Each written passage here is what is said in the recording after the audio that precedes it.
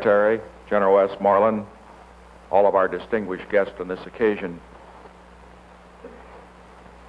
I have been honored many times since assuming the office of Presidency of the United States, but I can say from my heart that today is the highest honor.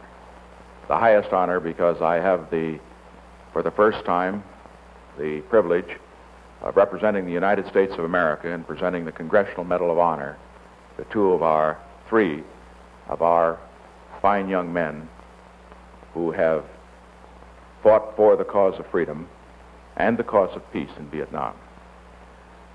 The citations will be read by the Secretary of Army, and they will tell us better than any words I could utter what these men have done beyond the call of duty. I would like to add just a personal word, a word that I think all of the American people would join me in. Uh, we really cannot honor these men, but they have honored America. They have added to the honor of the nation by what they have done. They share several things in common. They are men who risk their lives for their fellow men. They are men who face death, and instead of losing their courage, they gave courage to the men around them. And finally, they are young men. The oldest man is 30. And I guess we can say Sergeant Sasser is 30. And Sergeant Zabitosky is 26. And Specialist Sasser, or Specialist Hooper, is uh, 21. And that leads me to uh, give you a conclusion that I reached after studying all of the Congressional Medal of Honor winners in this war. Their average age is 27, which brings home a thought that we must always remember. When we think of America's younger generation, uh, we sometimes have a tendency to emphasize what's wrong with them. And sometimes uh, young people do get in trouble. Sometimes they do not follow the patterns that older people think they ought to follow. But in the magnificent records of these three young men, they've demonstrated to us that uh, we can be very proud of our younger generation. They are magnificent men, magnificent in their idealism. Idealism is often shown by words, but they have demonstrated their idealism by their deeds.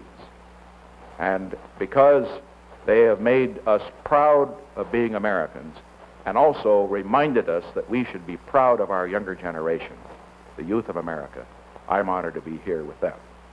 And Mr. Secretary, if you would read the citation.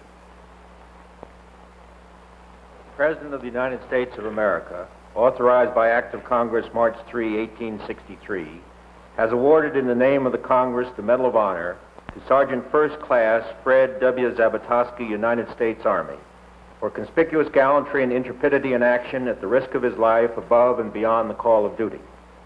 Sergeant First Class Fred W. Zabitosky, United States Army, distinguished himself in the Republic of Vietnam on February 19, 1968, while serving as an assistant team leader of a nine-man Special Forces long-range reconnaissance patrol. Sergeant Zabitosky's patrol was operating deep within enemy-controlled territory when it was attacked by a numerically superior North Vietnamese Army unit. Realizing the gravity of the situation, Sergeant Zabitosky ordered his patrol to move to a landing zone for helicopter extraction while he covered their withdrawal with rifle fire and grenades. Rejoining the patrol under increasing enemy pressure, he continually moved from man to man, encouraging them and controlling their defensive fire. Mainly due to his example, the outnumbered patrol maintained its precarious position until the arrival of tactical air support and a helicopter extraction team. As the rescue helicopters arrived, the determined North Vietnamese pressed the, their attack. Sergeant Zabitosky repeatedly exposed himself to adjust helicopter gunship fire around the landing zone. After boarding one of the rescue helicopters, he positioned himself in the door, delivering fire on the enemy as the ship took off. The helicopter was engulfed in a hail of bullets, and Sergeant Zabitosky was thrown from the craft as it spun out of control and crashed. Recovering consciousness, he ignored his painful injuries and moved to the flaming wreckage. Heedless of the danger of exploding ordnance and fuel, he pulled the severely wounded pilot from the blaze and made repeated attempts to rescue his, patro- his patrol members, but was driven back by the intense heat.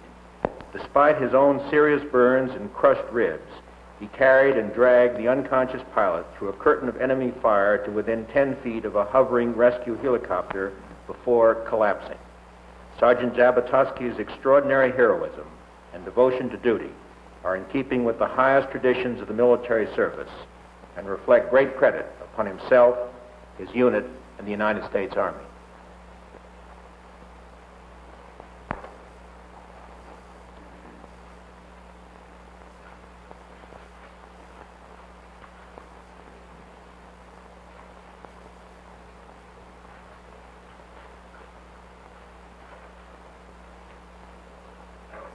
President of the United States of America, authorized by Act of Congress March 3, 1863, has awarded in the name of the Congress the Medal of Honor to Staff Sergeant Joe R. Hooper, United States Army, for conspicuous gallantry and intrepidity in action at the risk of his life above and beyond the call of duty. Staff Sergeant Joe R. Hooper, United States Army, distinguished himself on February 21, 1968, while serving as a squad leader with Company D, 2nd Battalion, 501st Infantry, 101st Airborne Division, near Hue, Republic of Vietnam. Company D was assaulting a heavily defended enemy position along a riverbank when it encountered a withering hail of fire from rockets, machine guns, and automatic weapons. Staff Sergeant Hooper rallied several men and stormed across the river, overrunning several bunkers on the opposite shore. Thus inspired, the rest of the company moved to the attack. With utter disregard for his own safety, he moved out under the intense fire again and pulled back the wounded, moving them to safety. During this act, Staff Sergeant Hooper was seriously wounded, but he refused medical aid and single handedly stormed three enemy bunkers, destroying them with hand grenades and rifle fire, and shot two enemy soldiers who had attacked and wounded the chaplain. At this point, he was attacked by a North Vietnamese officer whom he fatally wounded with his bayonet. Finding his men under heavy fire from, from a house to the front, he proceeded to the building, killing its occupants with rifle fire and grenades. As his squad reached the final line of enemy resistance, it received fire from four bunkers in line on its left flank.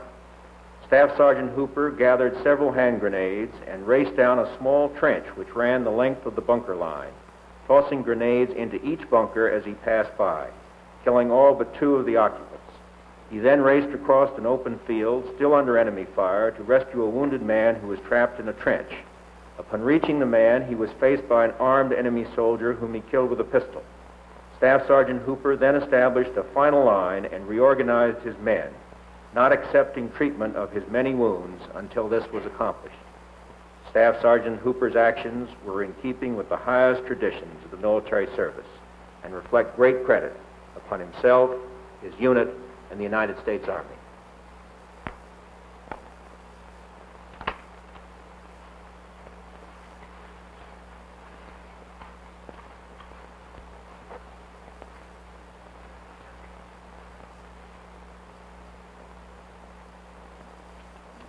The President of the United States of America, authorized by Act of Congress March 3, 1863, has awarded in the name of the Congress the Medal of Honor to Specialist 5 Clarence E. Sasser, United States Army, for conspicuous gallantry and intrepidity in action at the risk of his life above and beyond the call of duty.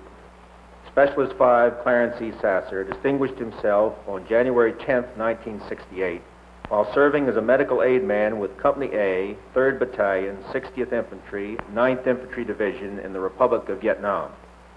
His company was making an air assault when suddenly it was taken under heavy small arms, recoilless rifle, machine gun, and rocket fire from well fortified enemy positions on three sides of the landing zone. During the first few minutes, over 30 casualties were sustained. Without hesitation, Specialist Sasser ran across an open rice paddy through a hail of fire to assist the wounded. After helping one man to safety, he himself was painfully wounded in the left shoulder by fragments of an exploding rocket. Refusing medical attention, he ran through a barrage of rocket and automatic weapons fire to aid casualties of the initial attack, and after giving them urgently needed treatment, continued to, to search for other wounded. Despite two additional wounds immobilizing his legs, he dragged himself through the mud toward another soldier a hundred meters away. Although in agonizing pain and faint from loss of blood, Specialist Sasser reached the man, treated him, and proceeded on to encourage another group of soldiers to crawl 200 meters to relative safety. There he attended their wounds for five hours until they were evacuated. Specialist Sasser's conspicuous gallantry and extraordinary heroism are in keeping with the highest traditions of the military service and reflect great credit upon himself, his unit, and the United States Army.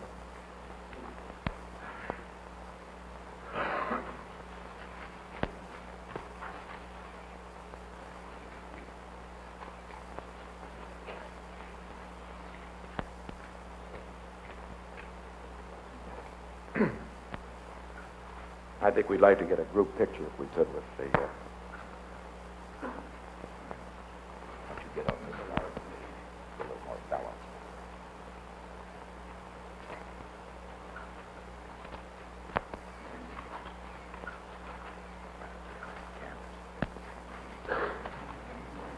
Red light.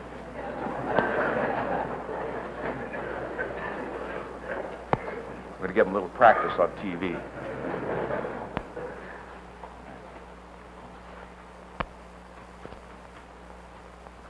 All set. Then I think all of you would like to see their families. We'll have a picture with each one of the families. Could we do that? Fine. You bring your family up uh, first?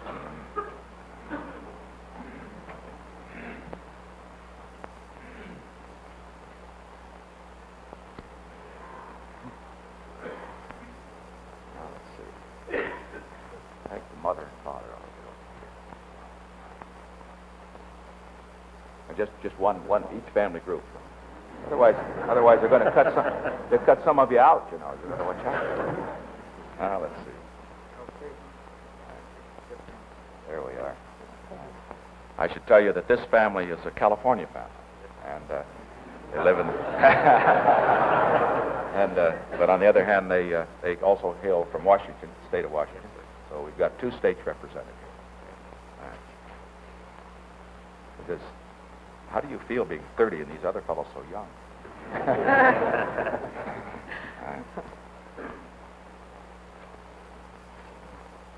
right. There we are. Thank you. All right. Congratulations again.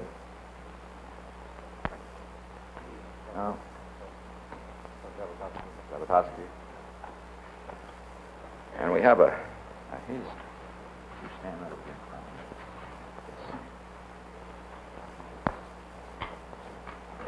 Maybe you get the other side. There we are. Now you stand. There we go.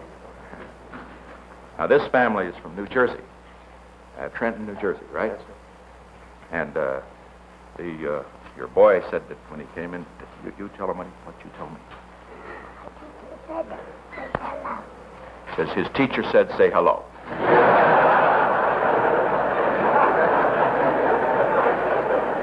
He's going to go far with his teacher. He's in the first grade. Oh, right.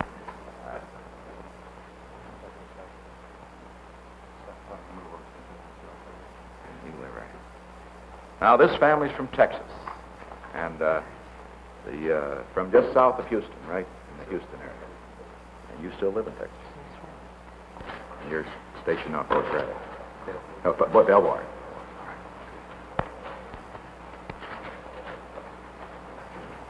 So we've covered the whole country here. East, west, California. Yes. Okay. All right. That concludes the ceremony. We thank you all very much for coming, and we are honored that you could be here to participate in this very historic ceremony.